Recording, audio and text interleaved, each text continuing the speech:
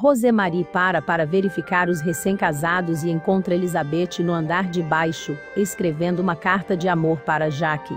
Elizabeth explica que os dois escrevem cartas diariamente um para o outro, e a que ela acabou de terminar, está instruindo Jaque a encontrá-la no café mais tarde para uma surpresa.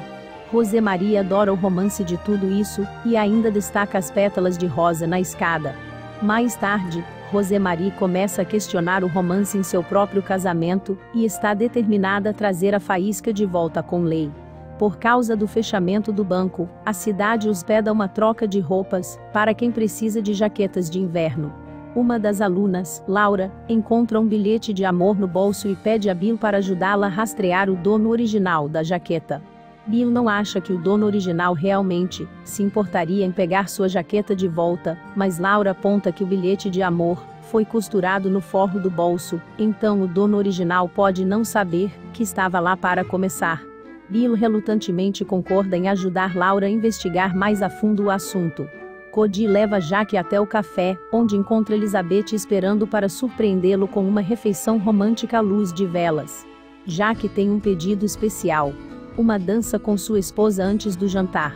A noite romântica é interrompida quando Icon entra, dizendo a Jack que viu alguns homens na propriedade de Jack com o Sr. Jenkins e que a troca estava começando a ficar tensa. Jack e Elizabeth vão imediatamente para a propriedade, para ver qual é o problema. Uma vez lá, o Sr. Jenkins explica que o banco decidiu exercer seu direito de retomar o terreno. O Sr. Jenkins garante a Jack que o banco que está tomando de volta a propriedade é perfeitamente legal, porque o empréstimo de Jack com o banco inclui uma cláusula que permite que o banco recupere o empréstimo a qualquer momento. Elizabeth percebe que o banco, lutando por dinheiro, tem uma oferta em dinheiro pelas terras de Jaque. O Sr. Jenkins dá a Jaque a opção de salvar suas terras pagando o saldo do empréstimo em sete dias. Quando Jaque diz que não tem esse dinheiro, o Sr. Jenkins sugere que a família abastada de Elizabeth poderia ajudar. Jaque desiste dessa ideia e promete a Elizabeth que eles mandarão construir a casa dos seus sonhos de uma forma ou de outra.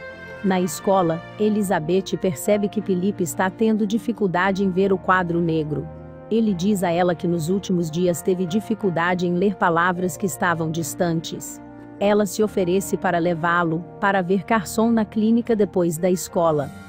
Henry para no café para um bolinho, onde Abigail nota seu rosto comprido.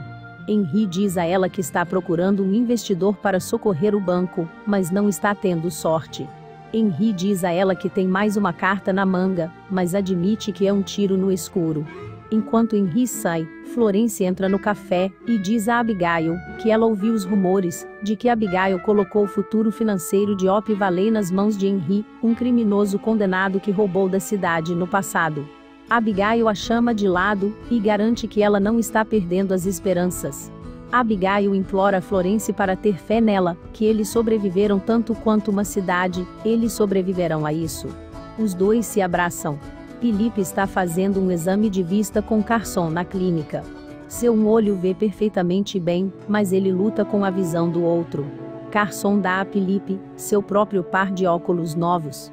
Após um exame cuidadoso do casaco de Laura, Bill encontra um cabelo ruivo, o que significa que o proprietário original deve ter sido ruivo. Agora, ele e Laura têm a missão de perguntar a todas as ruivas de Op Valley se o misterioso bilhete de amor lhes pertence.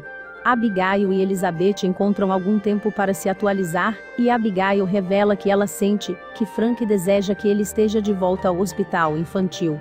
Elizabeth lembra amiga que, por enquanto, Frank está de volta ao Op Valley, e com Abigail. Elizabeth também conta a Abigail sobre o confisco das terras de Jaque pelo banco. Quando Abigail pergunta a Elizabeth o que ela vai fazer, Elizabeth diz que eles vão sobreviver, para o bem ou para o mal.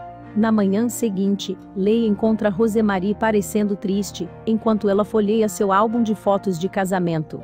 Lei segue sua rotina matinal, como se nada estivesse acontecendo, então diz à esposa que haverá mais tarde no jantar.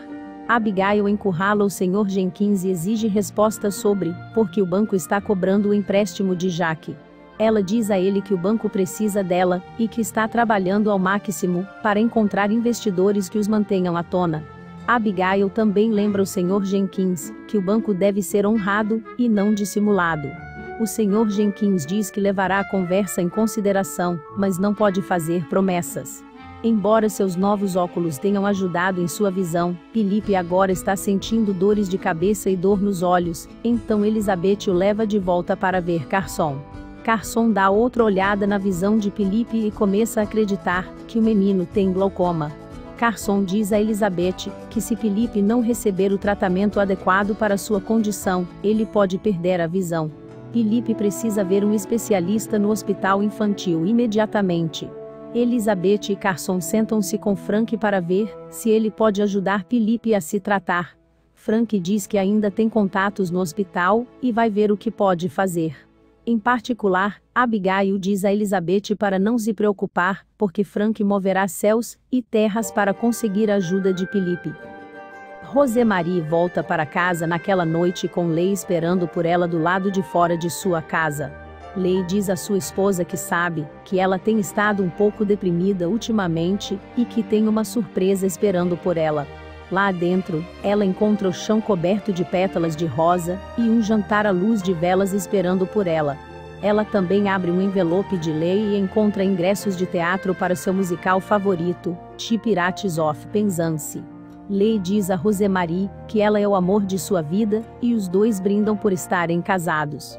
Enquanto investigavam a misteriosa carta, Laura e Bi determinaram que a carta tinha manchas de carvão, veio de alguém com cabelo vermelho e foi endereçada a alguém chamado Lucy Olivey.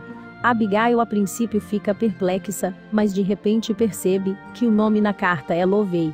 Lovey foi o apelido que o marido de Florence lhe deu quando eram jovens. Billy e Laura vão procurá-la para entregar a carta de amor. Florence recebe a carta e começa a chorar. A carta foi escrita por seu falecido marido, Paul, com quem ela estava desde o colégio. Ela diz a Laura e a Bill que guardará o bilhete para sempre. Já que chega em casa sombrio e Elizabeth quer saber o que há de errado. Ele diz a ela que recebeu outra tarefa que o afastará dela. Já que diz a Elizabeth que só vai ficar alguns meses fora para treinar novos montis. Ele promete a ela que esta será sua última missão fora da cidade. A notícia também significa que a lua de mel em Chicago terá de ser adiada. Elizabeth diz a Jack que quer ir com ele, mas ele sabe que ela não pode ficar longe do ensino por tanto tempo. Elizabeth se compromete e diz que ela pode pelo menos viajar com ele, até que ele chegue ao forte, e eles possam considerar a viagem como sua lua de mel. Felipe se prepara para viajar para Cap Fullerton com Frank, para receber tratamento para glaucoma no hospital infantil. Antes de ele ir embora, seus colegas lhe dão um cartão que todos assinaram.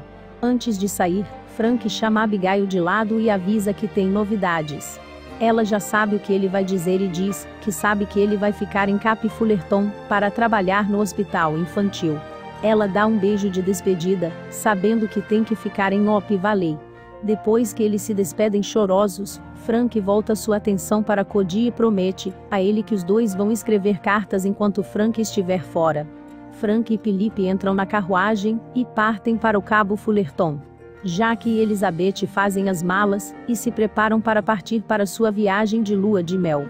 Eles são interrompidos pelo Sr. Jenkins, que lhes diz que o banco não confiscará as terras enquanto Jack cumprir seus pagamentos. Elizabeth sabe que Abigail estava por trás da decisão e agradece pessoalmente, dizendo que a cidade tem muita sorte de tê-la como prefeita. Henry se aproxima de Abigail com boas notícias.